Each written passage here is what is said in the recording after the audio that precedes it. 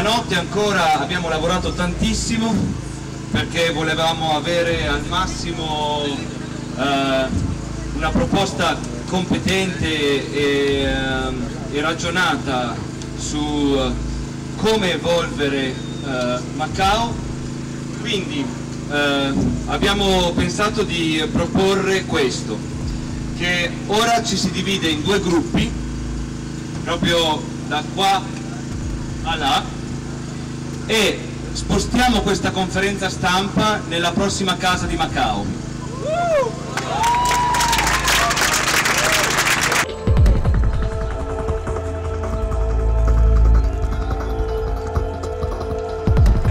Stiamo sul marciapiede, con calma, per favore sul marciapiedi.